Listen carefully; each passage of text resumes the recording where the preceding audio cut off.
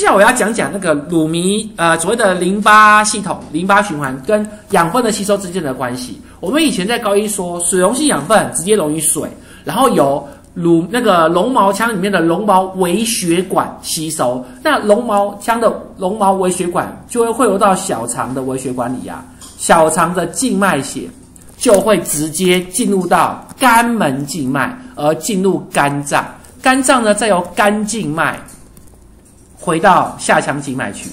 好，那这个循环系统我们也顺便就复习一下下，肝静脉，然后回到下腔静脉。自然就回到了心脏喽，下腔静，那回到了心脏的右心房，下腔静脉，好就回心了，对不对？好，但是没那么简单啊。这个肝脏不是只收集肝门静脉，肝脏本身也有肝动脉来提供肝脏养分与氧气，所以肝脏有两个汇入，有一个汇出，所以肝脏的血液很多。对，我们好像之前讲过。那小肠呢是由肠动脉提供养分跟氧气。所以肠动脉把血液送到小肠，那小肠的这些血液就汇入到肝门静脉，也就是说，没有肠静脉这个血管，也没有胃静脉、脾静脉、大肠静脉都没有，因为小肠、胃、脾、大肠它们的血液都汇入肝门静脉，而汇入肝脏，包含肝脏的那些。呃，水溶性养分就由肝门静脉就送到肝脏直接储存了。好，所以水溶性养分不用回心，直接透过肝门静脉到肝脏储存。可是脂溶性养分不太一样，脂溶性养分是透过那个乳糜管，乳糜管就汇流到所谓比较大的淋巴管。那这个比较大的淋巴管呢，因为我们的小肠位于下半身，而下半身的淋巴管全部汇入了胸管。那胸管再由左锁骨下静脉回到了上腔静脉，左锁骨下静脉。好，这个可是高一都学过喽，我只是再复习一下，然后就回到了那个上腔静脉，最后就回心脏啦。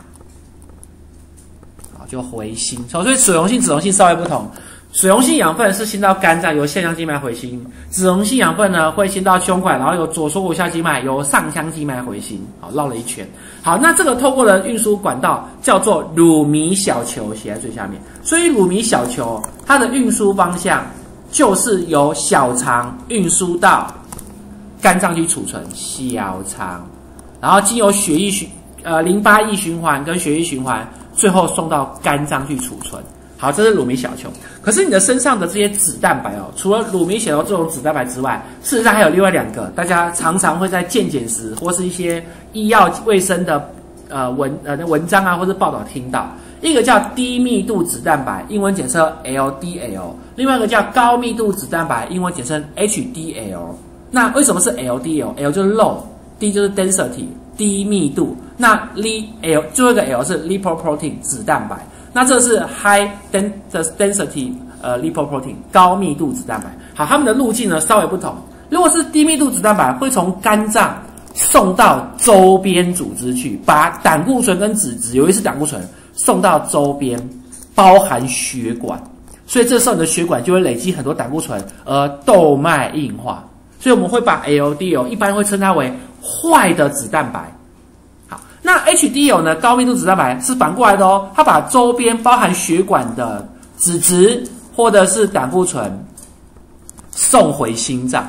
那这样子，你周边就没有什么脂质或胆固醇，所以可以降低心血管疾病、降低动脉硬化的可能。所以 HDL 被叫做好的脂蛋白，而上面的胆固醇就叫好的胆固醇。好，这两个，一个是送离开肝脏到周边组织，另外一个是从周边组织送回肝脏。